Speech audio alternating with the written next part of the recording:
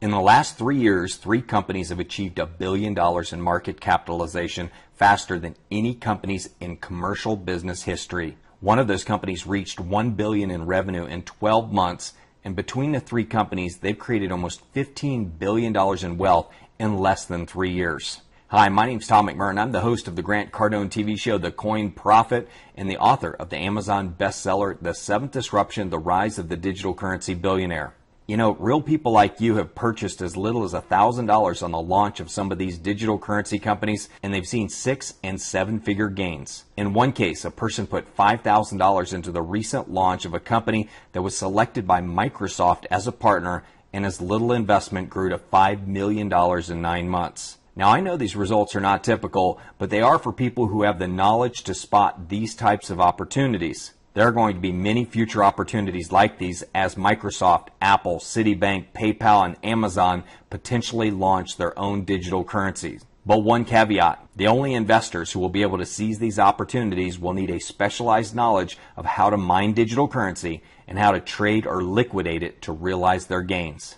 You know, education creates awareness, and awareness increases your chance of realizing success in anything. Now, I want to give you five reasons why you should take a serious look at cryptocurrency as a hedge against depreciating government issued currency. Reason number one cryptocurrency is transparent.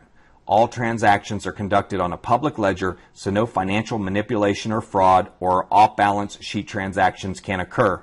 Basically, what I'm telling you is no cook in the books. Reason number two cryptocurrency is finite. When a cryptocurrency is launched, they publicly declare a number of shares or what they call coins. They are actually serial numbers or CUSIP numbers if you're familiar with stocks and bonds. One big distinction is cryptocurrency cannot be diluted. For example, when Bitcoin went public, 21 million coins were declared. There will never be more than that. The algorithm, once published, cannot be altered, and the community will make sure this does not happen. As the community grows around a finite asset, guess what happens to the value? Well, you got it. It goes up in value. This is simple supply and demand 101 economics.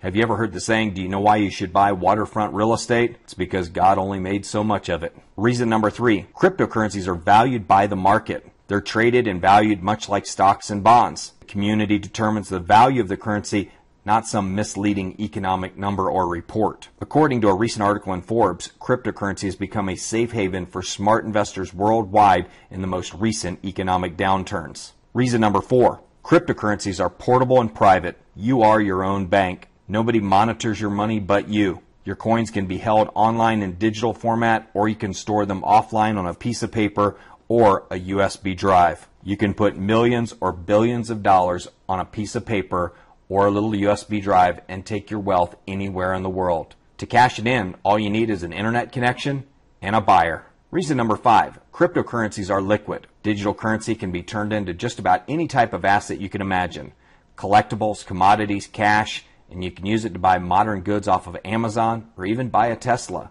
Many of the anti money laundering law and KYC compliant exchanges are now offering Visa MasterCard so you can spend your internet based currency. You know, regulation stifles returns. While cryptocurrency is risky because of its lack of regulation, it provides the fastest and highest returns of any industry in the history of modern business and we're just at the beginning of the wave. Bitcoin, the first mover, has paved the way for the seventh disruption of the financial industry.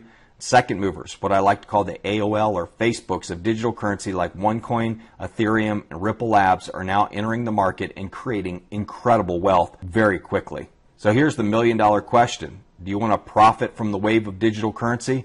Or do you simply just want to pay with it? It's not a matter if you're going to use digital currency, it's just a matter of when. So consider these final thoughts. Today you have a choice of owning a medium of exchange that historically has lost value, or you can participate in the Internet of Money, which has the potential to appreciate in value and create wealth for you and your family. Now that should be a no-brainer right there. The smart money is already in digital currency with Marc Andreessen, one of the most prolific investors in technology, leading the way as the largest investor in the space.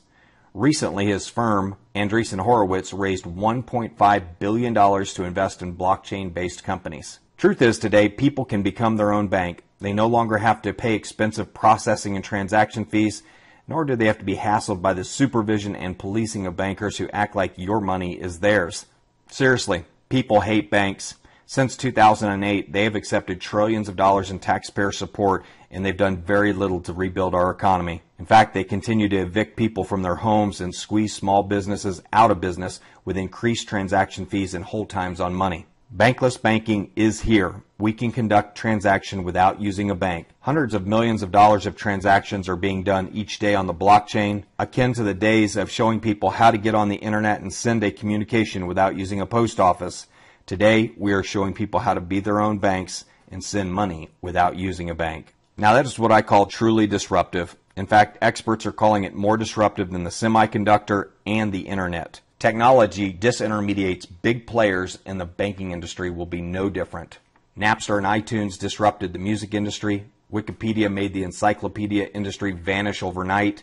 And the mobile phone industry, well, they put Kodak straight into bankruptcy. Blockchain software that eliminates intermediaries that charge transaction fees are all subject to the disruption, according to Don Tapscott, the New York best-selling author of The Blockchain Revolution. You are at the right moment, the right time, and New Currency University will provide you with the information you need to profit from this extraordinary financial opportunity. If you missed the investment opportunities in the 90s of Amazon, Facebook, Uber, or Apple, the opportunity for 25x and 100x returns is now reality with cryptocurrency. Please get back to the person who shared this audio with you and become a participant in the seventh disruption of digital currency.